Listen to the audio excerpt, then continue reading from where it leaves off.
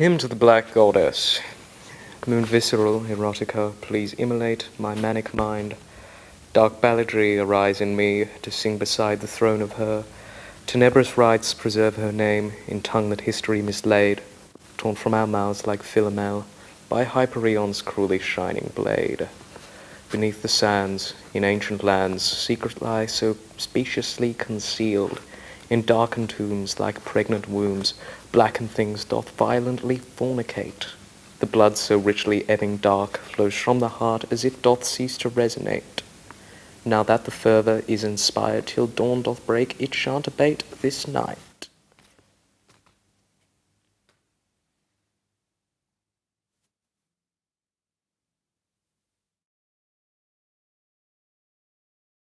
I've said to him, Oh yeah, hello, how are you? My name is John. And he said, Oh, you're that guy from Bairnsdale with the snake orgy. I've never seen a snake, and whatever he was referring to, I have no idea. The snake orgy. Let's think about that one. Uh, well, I have no idea because I don't really talk. I don't really talk to them. What are the truths that people don't? I, I have no idea. I don't talk to these people. I don't really know them. They know me though. None of them really know anything about me whatsoever. And once or twice I've actually tried to tell them the truth about me, but they don't want to know it. It's not nearly theatrical enough for them. Another one is that I commonly sacrifice various animals to a god or gods. There's another one that I'm actually a woman, that I'm not really a man at all, and that I'm just pretending. Another one is that I murdered my grandparents with a screwdriver when I was eight years old. That's another fascinating one. And then your standard gothic things, you know, I have sex in graveyards and that sort of thing, and that really is my private business. People have perceived me to be very, very angry. Sometimes I can look very angry and abrasive. So that's some of the things that I that I think I must express in my manners or my gait.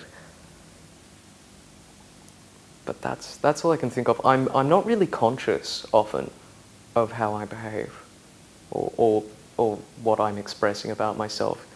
I really don't care. A lot of people say they don't care what other people think of them, but I, I really don't. I never ever think about it. And then every now and then someone like a, a mother or a girlfriend you know, inconsequential people like that will come along and say, oh, think about how this reflects on me. And to be terribly honest, I never did. People don't hear what I'm saying because my vocal style is a kind of nihilistic shriek, which is very difficult for comprehension. And, and so it's more about the rhythm and the meter of the words and it has absolutely no, nothing to do with the sentiments I'm expressing. The way the syllables sound with each other and resonate together, that, that's, that's more important. Black metal is not about concepts at all. It's not about, uh, it's not about uh, complex music or you know, fast fingers or anything like that. It's about, it's about stimulating a visceral and primitive part of a human being, and that can only be affected when all rational principle is taken away and we appeal to the animal nature in man. And if one were to ask a lot of black metal people uh, what they get from that music, it's that they all describe this, this inextricable feeling.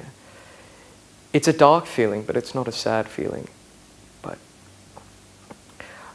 I call it a, a, pure aesthetical moment when we've taken away we, we've taken away all of the thoughts and the concepts and the reason, and we've taken away even even emotions. Emotions have become such a cliche, and then and suddenly we strip it all back and we reach inside people, and out of out of it comes this this strange exultancy, this this this thing that in its complete unreason is so perfectly logical and satisfying to call it a passion would be an understatement. It's, it's what I call the pure aesthetical moment. And that's what black metal's about. Sorry, I went into a bit of a riff there. and that's exactly what the music's against. It's, it's forget that. Forget the dogma. We, forget the forget the reason. Human beings are not rational animals. We're not. And I think that uh, I think that that irrational side of us needs some sort of expression or stimulation. Uh, Plato said that the poet distorts reality, and he said it with disdain. But I think reality needs to be distorted.